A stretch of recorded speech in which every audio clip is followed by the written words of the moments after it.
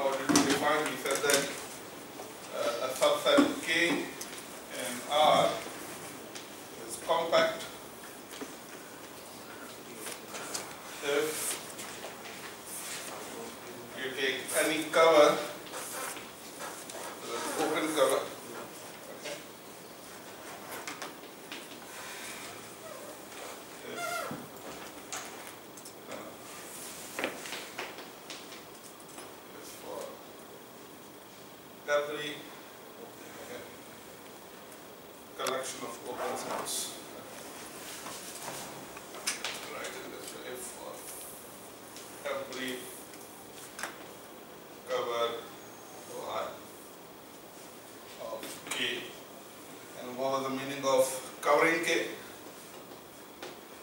That if you combine all these sets together, okay, and union them, then you can tell K. Okay, This is what that we define. There exists for each such cover, open cover, so we can always find a finite subcover. This is a finite subcover. And by subcover, I mean a subcollection, you know, from here. And such that such that K is included in you know, the union of these. That's it. Okay. So this is what uh, the compactness means that for every cover, for every open cover, we can find a finite subcover. In other words, if you give me loads of open sets that cover your K, so if your set is compact, then out of these loads of open sets, you can find some open sets.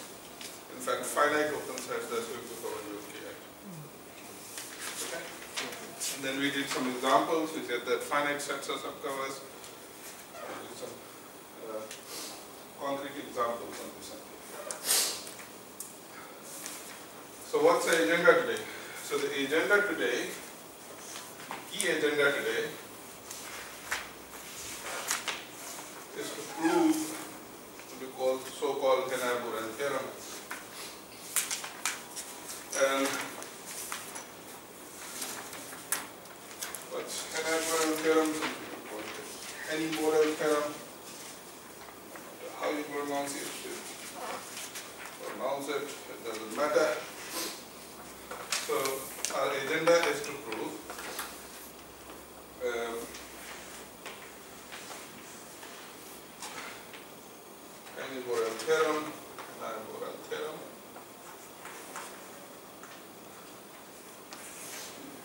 Which gives a very interesting and a kind of an easy characterization um, of this compactness in R. Okay. Um, what do we mean by the characterization? In other words, you don't need this definition to check the compactness. There is an alternate, an easy alternate that the theorem says that a subset K in R is compact. Compact if and only if we just check two things actually. That K is closed and it's bounded at. So these two things. it's a very concrete things. You don't need, you know, all these characterizations, you know, this would be um, a quickest way to make sense of compactness. actually. Okay? The remark is this, that this compactness is also true in Rn actually. So it's not limited with that. So I can also prove that in any you know, n-dimensional Euclidean space, a subset of you know Rn is compact if it is closed in compact. Okay. And in some kind of metric spaces as well. So this is what that we would like to prove today, essentially. We're going to do it in the steps. So the first and the crucial step is going to be to prove a set of lemma, and this first lemma is we call is going to play a pivotal role in proving an Borel theorem. And the first lemma says that if you take a closed interval, it be real numbers. If you take a closed interval, then this closed interval is compact. Okay? So every closed interval is compact. actually. And it's going to play a, very important role in proving Heine-Borel theorem. So it's a, it's a pretty, you know, interesting result. And you will see uh, that this proof is a bit technical, not that technical. We, something you, you, need, you have to be careful when you are, you know, especially seeing the proof of this. So how should we begin? So I want to prove the compactness of the closed interval. So what should be my first step? So what we need to do, I need to take an open cover for this side. So select a collection of open sets. Okay. Uh, alpha belongs to I, open cover for the closed interval. Okay. So collection of open cover for A to B. In other words, that every element of A to B is included in one of, you know, the elements in this collection actually, the open set. Okay, just put that in there. The, the I'm going to give you now is a trick, you know, uh, essentially it's a method actually, okay? And this method of proving things is not limited to just this proof, but there are lots of things which are going to see in the future, which can be, you know, proved in the similar fashion actually, okay? So what I would like to, you know, what I want that you only see the proof that, that is now coming, but you try to also analyze, you know, the method that, you know, we are going to apply here. Now, what I need, what I need to show next actually, I need to show next that there is a finite subcover. Okay, so it's like out of these, you know, loads of open sets, I can take some finite number of open sets which are sufficient to cover A. Now, I don't know that whether, you know, such a finite subcover exists or not at the moment. Okay. So has a very clever and creepy way to do it. Okay. So consider a set P. Okay. Consider a set P that consists of those points of A to B, okay, those points of A to B, for which if you take the interval, the closed interval, from A up to that point, x, okay, has a finite circle.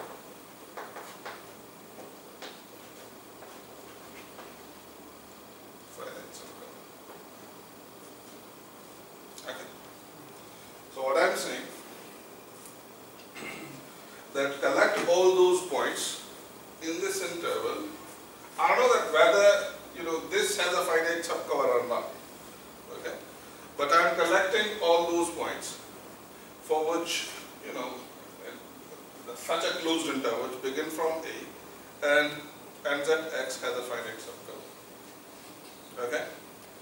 Now I'm going to show something interesting in three steps actually. In the first step, okay, you can ask an obvious question.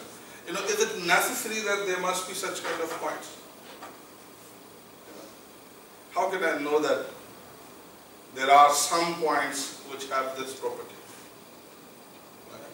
So this is what that, you know. So in other words, the, first I need to show that P is non-empty. Okay. I'm going to show that it's non-empty. What does it mean? It means that there are some points there actually. We are not talking about an empty set. Okay. In other words, there are some parts of the closed interval A to B for which we have an open cover. Okay. Step 2 is going to be, step 2 is going to be, okay, there exists a supremum of this set P. Okay. And I'm giving it a name as, okay. So I'm going to show that for such a, so I can have, you know, many points for which, you know, such a, you know, open, uh, you know, closed set has a closed interval as a finite subcover, but out of all such points I can find a.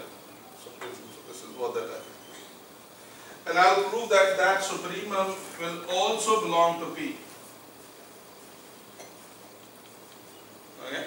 That supremum will also belong to P. In other words, if you take a closed interval from A to that supremum, that has a finite subcover. Okay?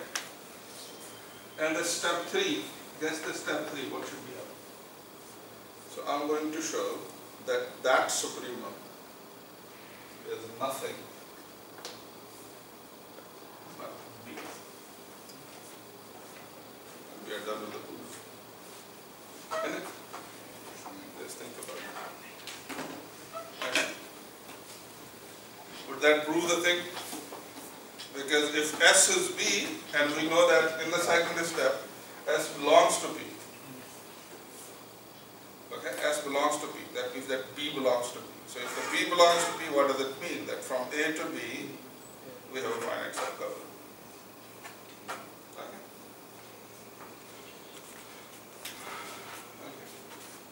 So essentially, trick is this actually, you know. So, so that's that's the these are the steps that we're going to take. But the real trick is sitting here. That imagine, you know, the method that I was talking about actually that you know, quite frequently used in mathematics. You want to have a property, particular property in certain object, okay, a certain collection of object. So what you do, you say that, okay, I know that whether this property is in that certain set of objects, let's see that whether it is in some part of objects or not, some part of object. And then in the next instance, see that, you know, uh, does, uh, uh, uh, so is, is, is there like a maximal part for which we can have such a property? So in other words, and then maximal part is going to cover everything. So, so essentially what we are saying here, that if I want a finite subcover for A to B, I'm going to say that are there some parts of A to B for which we have a finite subcover? In other words, B is non-empty. Can we find a supremum? Okay, for such a set, and that supremum also belongs to set. And then I'm going to show that that supremum is equal to what we call B itself. And it's going to complete the. So let's let's begin with the step one. So what do you think? Why this set is non-empty?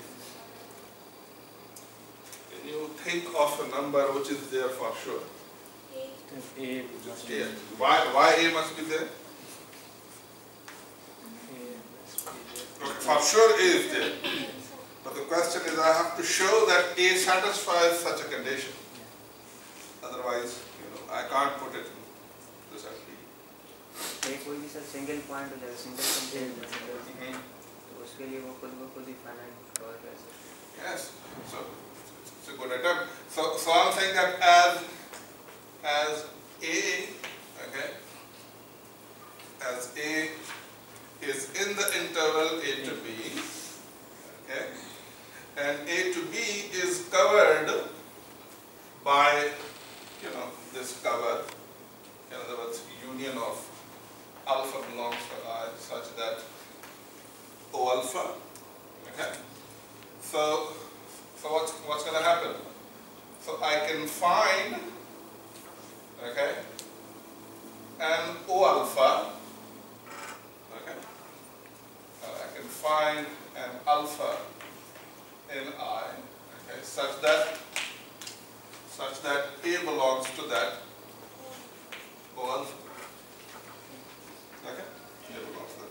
If A- If A is in the union, then A is in at least one of these sets actually. So this is what the definition says. Okay, and, and hence I can also say cleverly that the closed interval A to A. So what is the meaning of closed interval A to A? It's a singleton set A actually. Okay, This is singleton set A is contained in O alpha. Why is contained? Because if this belongs to O alpha, then surely this singleton set is a subset of O alpha. Are you getting the? Okay. And if this is true, then I can say that this singleton set, singleton set actually, okay, you know, let's not, you know, not be confused with this, you know, set alpha, let me call this as alpha star actually. okay. Let's call it alpha star, otherwise you- you can confuse this with open cover actually. Alpha star alpha star. Okay, so I have a sub collection of this cover, okay, in which there is only one element, and that is O alpha star. And that is a finite, because it's one, subcover for the interval A to A. Okay, so hence A satisfies the condition to be in. Hence, A must be because for A to a finite subcover. It making?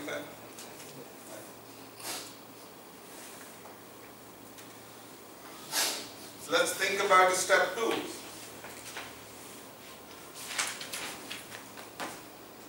So the for, for step two, I need to show first that the supremum exists, and I'm saying this exists for obvious reasons. But the real crucial thing is going to be to show that that supremum is a part of P actually. If you take the interval from A to S, it can be covered by the finite circle. Okay? So, why does why does the supremum exist? Give me some good reasons. Order is like order case. Okay, you have order. So bounded. Bounded. Bounded by what? A or B. A or B. So it's bounded above. Uh, this set is bounded above by P. In other words, this P, so when I'm saying that P is a you know, set of points from the interval A to B, I'm already assuming that P is a subset of A to B at closed interval A to So, so in other words, I'm saying that B is, is like upper bound for this set B. Okay? So I'm going to say that since P is bounded above, okay, above by P, so, so, so what if it is bounded above by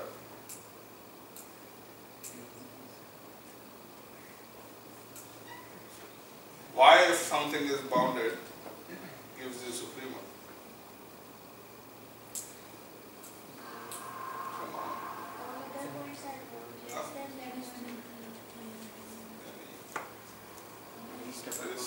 Exactly. So by least upper bound property, the least upper bound property says you what? If something is bounded above or bounded below, it will give you supremum and infimum. So by least upper bound property, property, is supremum of P, okay, which I am going to denote by S. Which I am going to denote by S. So this exists bounded above by by B. P, B. Or just above by P, okay. Okay? So this exists. Now the next crucial thing is going to be to show that this, uh, what do you call it? S also belongs to P actually. Get rid of this.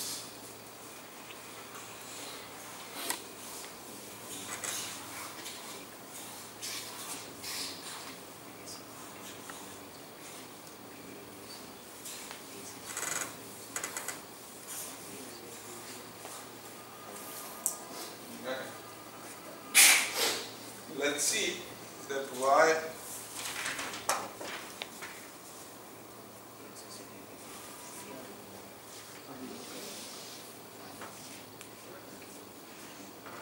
let's see that why you know there is a, there exists a finite subcover for uh, the interval a to s actually a to supremum and hence s belongs. So what the what do we know about s actually? From this conclusion, what do we know about s? In other words, if I say that I have this closed interval a to b, where is my s? S will be less. Inside, inside. Where is it going to be? Is less than equal between A and B, sir. So it must be a b. Why it must be between a and b? Because sir, Supreme. B is a bounded b is bounded up. Okay? So it can't go beyond b actually. It has to stay somewhere here. Okay? It's an arbitrary position. S is here. Are you getting the point? Good. Now, if S is in A to B, as S is in A to B, so there exists some open set O alpha, agree? Such that, such that what? F belongs to this O alpha. Agree? Is some open set. Is some open so if S is some O alpha,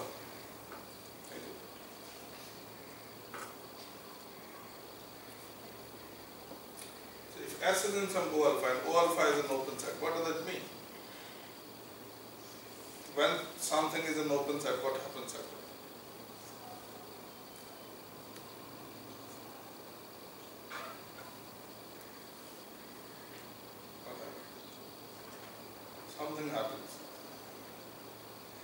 is that okay there exists an open neighborhood okay so it's like there exists an open interval okay so it's like s minus epsilon and s plus epsilon such that which contains s and contained in you know what you call alpha agree?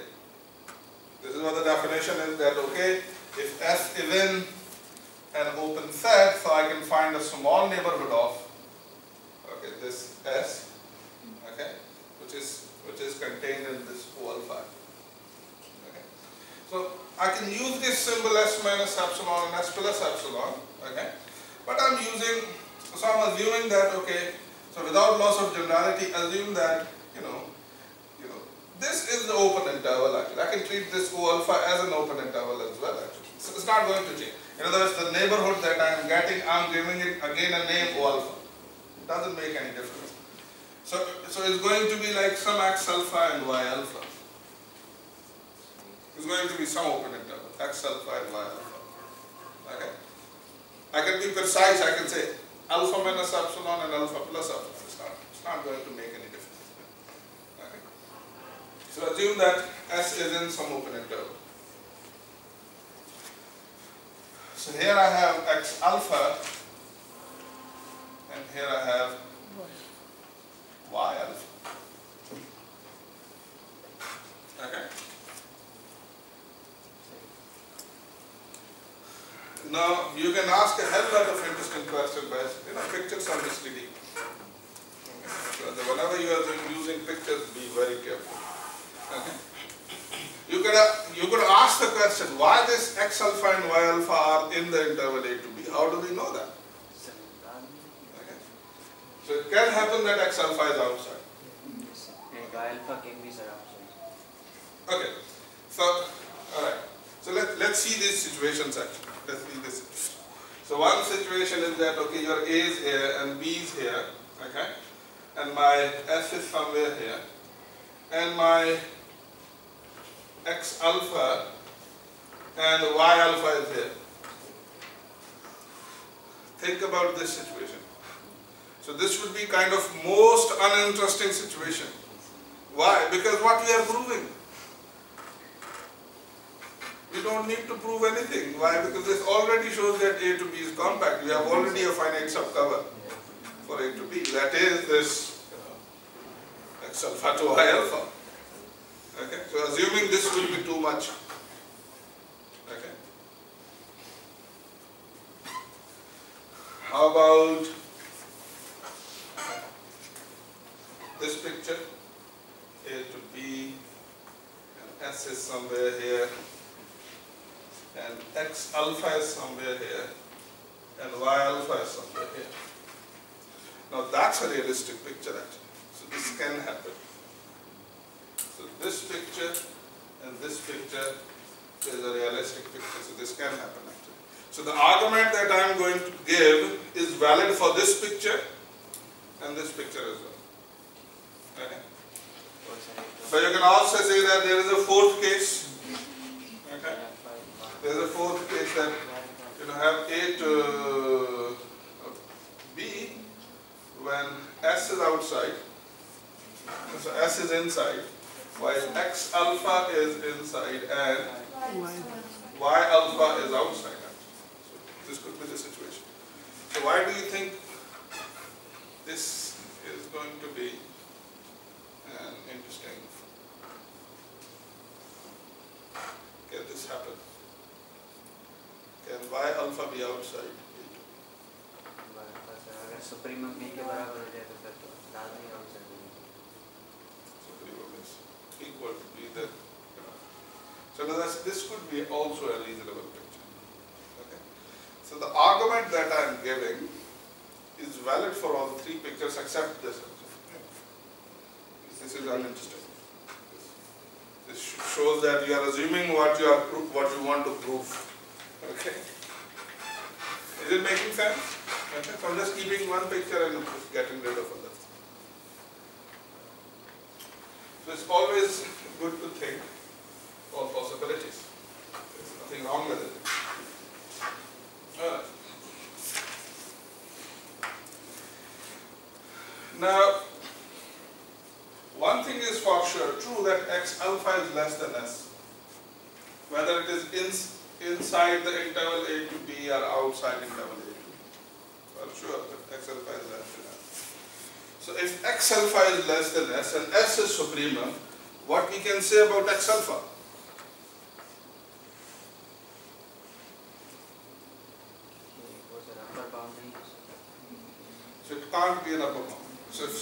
something is less than supremum, it can't be an upper bound. Okay? So since since X alpha is less than S, so X alpha can not be upper bound for for what?